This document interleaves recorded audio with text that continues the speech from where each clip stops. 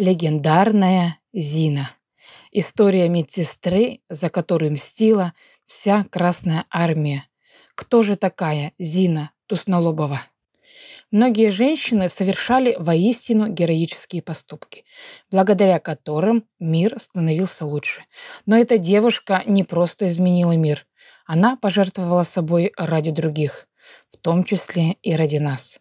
Легендарная Зина – пример непоколебимой стойкости и огромного мужества. Не имея рук и ног, 23-летняя девушка била немецких солдат во время Великой Отечественной войны до самого конца войны. Героизм побеждает все. Зинаида Туснолобова родилась в Белоруссии 1920 году. Позднее ее семья перебралась в город Ленинск-Кузнецкий, где Зина окончила школу и работала лаборантом-химиком. Это была стандартная жизнь самой обычной советской девушки. Днем работа, вечером танцы. А потом может быть свидание. На свидание Зину пригласил Иосиф Марченко – Хороший парень, в которого девушка, конечно, влюбилась. Отношения между молодыми людьми развивались по закону того времени. Танцы, походы в кино, невинные поцелуи. Весной 1941 года Иосиф сделал Зине предложение, а она, конечно же, согласилась. Пара начала готовиться к свадьбе, но планам не суждено было сбыться. Началась Великая Отечественная война и Иосиф ушел на фронт. Оставаться в тылу Зина тоже не собиралась.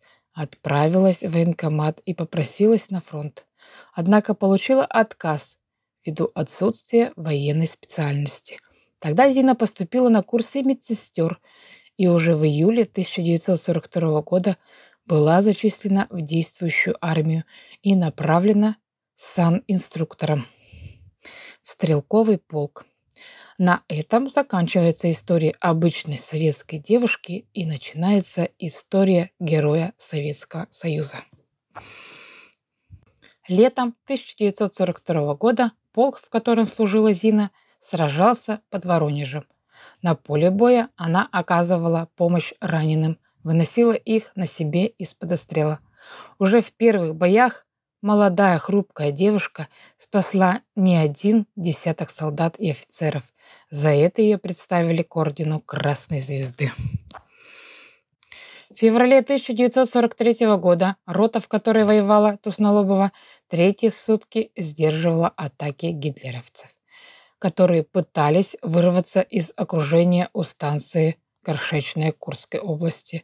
В том бою ранили командира роты Михаила Тимошенко. Спасти его было нельзя. Но Зина, еще не зная этого, спешила к нему на помощь и сама была серьезно ранена. От ранения Зина потеряла сознание, но в какой-то момент пришла в себя и увидела немцев, которые ходили по полю и добивали советских солдат. Попытались добить и ее ударом приклада. Она потеряла сознание, но выжила. Спустя несколько часов едва подающую признаки жизни Зину, которая вмерзла в снег, нашли советские разведчики.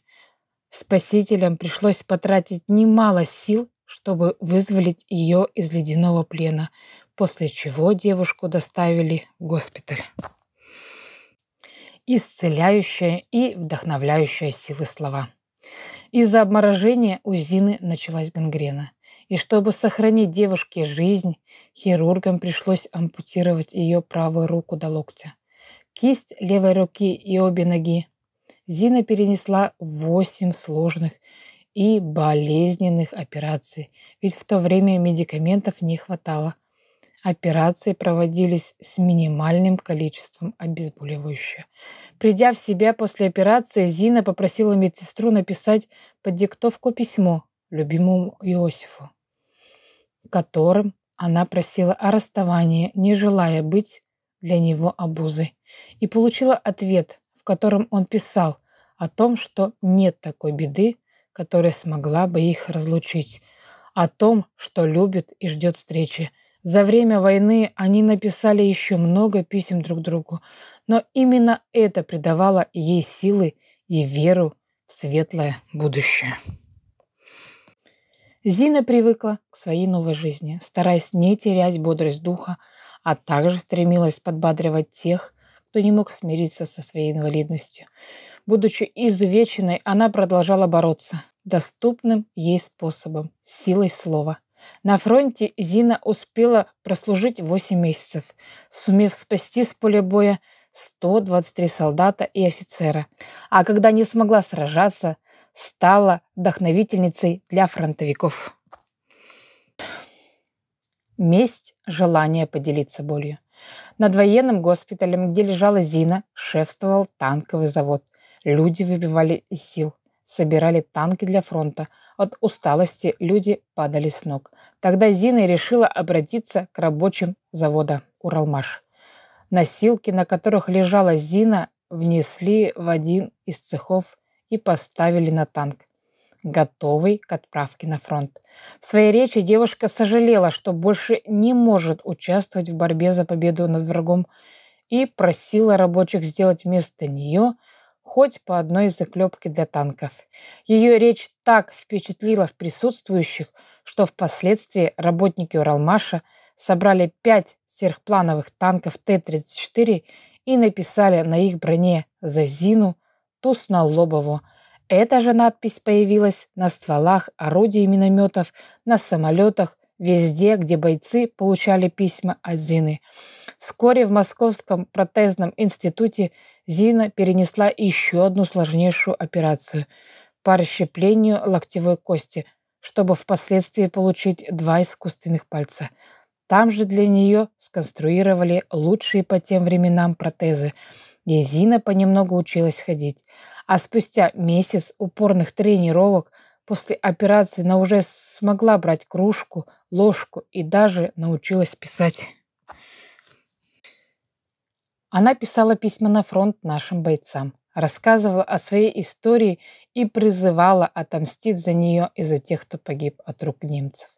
Ее письма опубликовали на фронтовой газете «Вперед на врага», которую читали в окопах и блиндажах. Ее слова заставляли верить в победу и в себя даже тех, кто ее отчаялся. Зина стала для солдат символом всех искалеченных и измученных советских бойцов, чью жизнь сломал фашизм. И они мстили. Наконец пришла победа. Начиналась мирная жизнь. Иосиф и Зина воссоединились и не расставались больше никогда. В 1957 году Зинаиде Михайловне Тустолобовой присвоили звание Героя Советского Союза, а в 1965 году ее наградили медалью Флоренс Найтингейл, английской сестры милосердия. Она стала третьей советской медсестрой, удостоенной этой почетной награды. Зина Туснолобова умерла в 1980 году в возрасте 59 лет, но память о ней жива сегодня.